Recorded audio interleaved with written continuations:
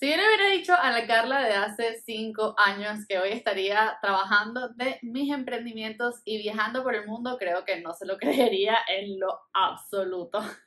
Hace un par de meses, de hecho hace como 4 o 5 meses, hice un video hablando un poquito sobre cómo empecé mi primer emprendimiento, cómo empecé pues mi primer negocio y cómo he ido creciendo en los últimos años. Este video inicialmente era para TikTok, pero vi que causó muchísimo interés como conocer un poquito más de mí, porque como yo he compartido contenido en redes sociales desde que soy nómada digital, creo que muchas personas han como tenido la percepción de que quizás soy millonaria, que soy mantenida, que tengo un sugar daddy, no sé qué otras cosas más han dicho de mí, pero las personas realmente se han sorprendido cuando les he contado que soy emprendedora y que pues me dedico a trabajar en línea mientras viajo en proyectos que son 100% míos.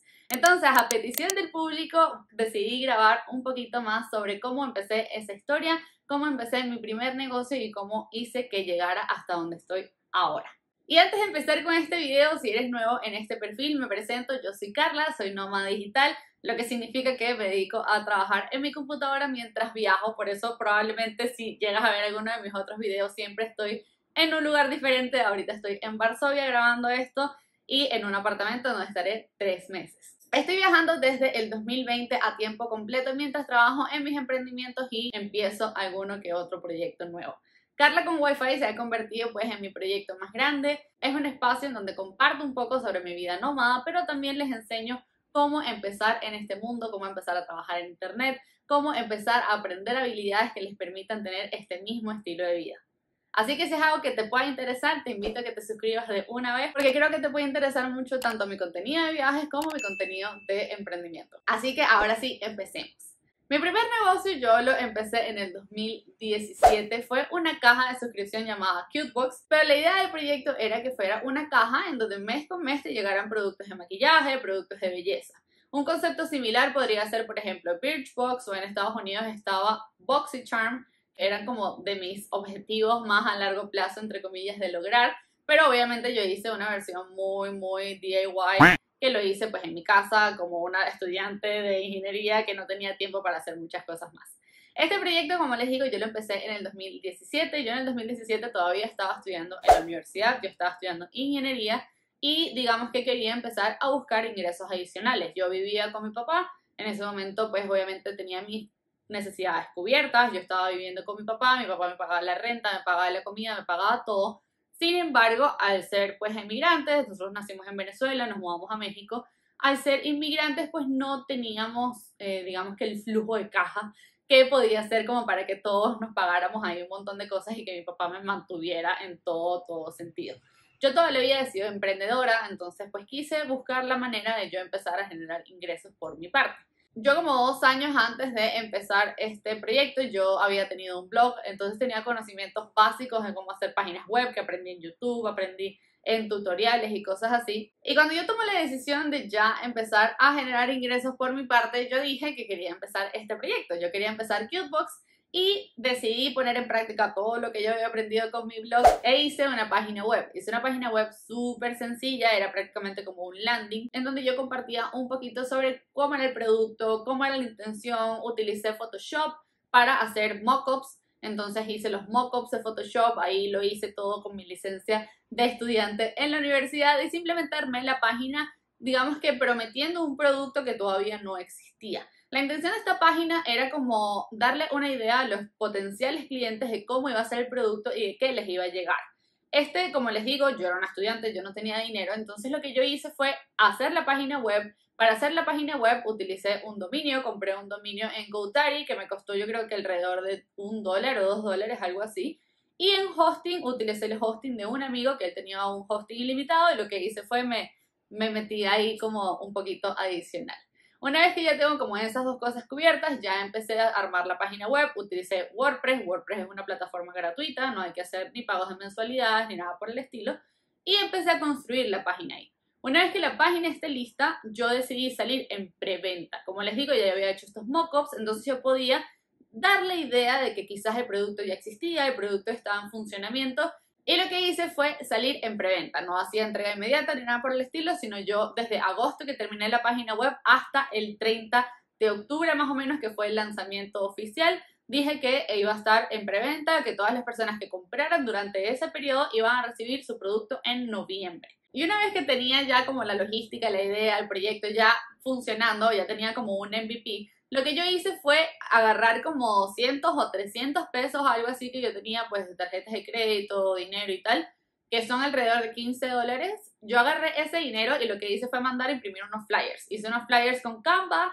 y los mandé a imprimir con una plataforma que se llama Imprimir 360, creo que se llama, en México y simplemente los mandé a hacer y a la semana me llegaron como 1500 flyers. Lo que yo hice con esos flyers fue irme a ferias del emprendimiento en Ciudad de México. Me fui al centro de la Ciudad de México, me fui realmente a todos los lugares en donde yo podía encontrar gente que no fueran centros comerciales porque no se puede, pero en todos los lugares públicos que yo pude ir, lo que hice fue entregar esos flyers. Entregué absolutamente todos, todos, todos esos flyers y después de dos meses yo conseguí 43 clientes que compraran mi producto en preventa. Y fue súper interesante porque todas esas yo solo había invertido la página web y había invertido los flyers. Y lo interesante de esto es que esos 43 clientes ya me habían pagado. Yo tenía el dinero de esos 43 clientes que fue lo que me permitió financiar el proyecto. Con ese dinero yo me fui al centro de la Ciudad de México, compré diferentes productos de maquillaje de algunos distribuidores que estaban ubicados ahí y empecé a armar mis cajas.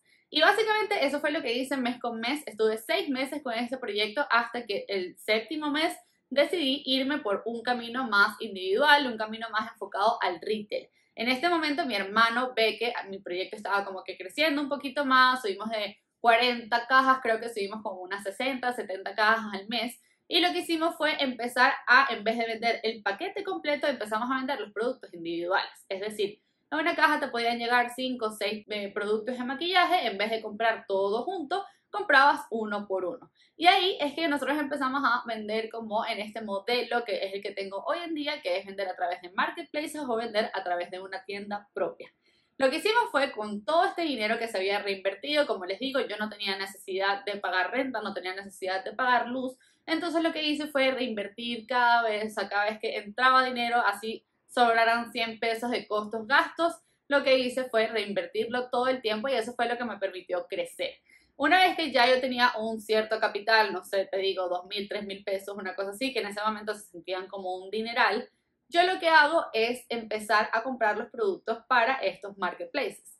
Y con este modelo me fue mucho mejor, realmente fue una gran diferencia en comparación de los otros, porque en el otro pues vendías como un, un, producto muy único, tenías que sacrificar un poco el margen de ganancia, entre varias cosas más. Y ya en el producto individual, pues empecé a ver como más dinero, más ganancia y más margen. En este caso, ya mi hermano pues empezó a ver que yo me estaba yendo un poco bien y decidió entrar conmigo como socio inversionista, que eso yo creo que es un nombre muy fancy para lo que fue, porque lo que hizo fue poner, no sé, 3 mil pesos, como les digo en ese momento. Eso para mí era todo, porque yo no tenía nada. Entonces, mi hermano entra conmigo y decidimos abrir nuestro primer marketplace fue Claro Shop. Estaba abriendo en México y lo que hicimos fue publicar nuestros productos ahí, los publicamos individuales y los publicamos también en, en o sea, como dos paletas por un precio un poco más accesible porque así pagabas menos de comisión, etc. Como este marketplace estaba naciendo en México, eso fue en el 2018, si no me equivoco, 2019, Claro Shop tenía muchísimas ventajas, tenían envío gratuito que lo pagaban ellos, tenía un montón de cosas que nos beneficiaban un montón.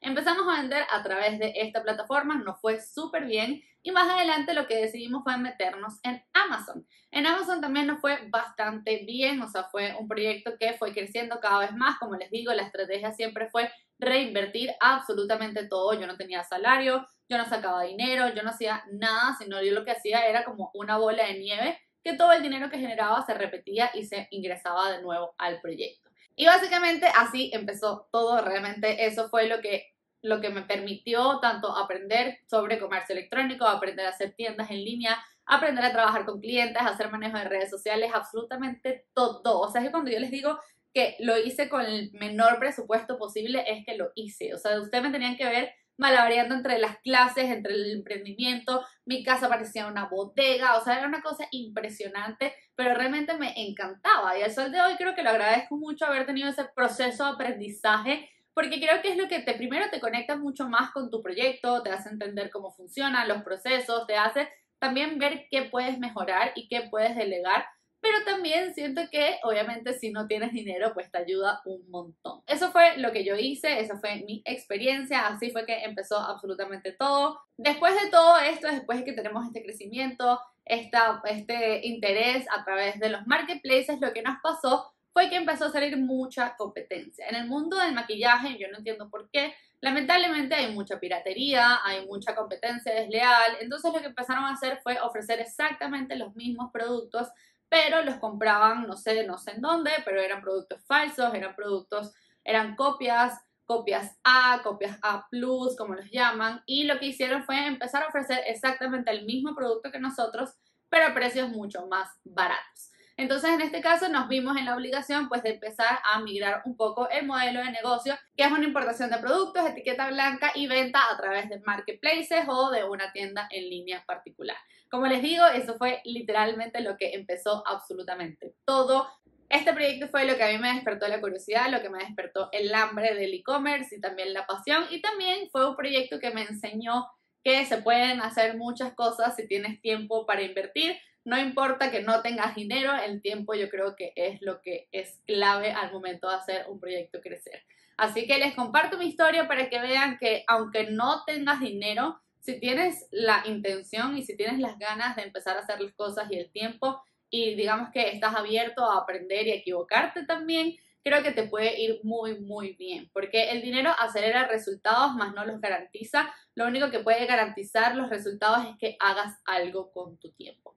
Entonces es bien importante, por eso les comparto mi experiencia, espero les sirva. Cuéntenme si les gustaría saber un poquito más sobre mi historia, sobre cómo a eso migró a lo que estamos haciendo hoy en día. Ya ahorita yo tengo varias empresas, tengo varios proyectos funcionando a la par y, bueno, y vivo de eso. Así que creo que puede ser muy interesante que igual conozcan eso si es algo que les interesa. Así que déjenmelo saber. Y bueno, cualquier cosa, cualquier duda, déjenme en los comentarios y hacemos otro video similar. Les agradezco mucho por su tiempo si llegaste hasta acá y nos vemos en un próximo video. Chaito.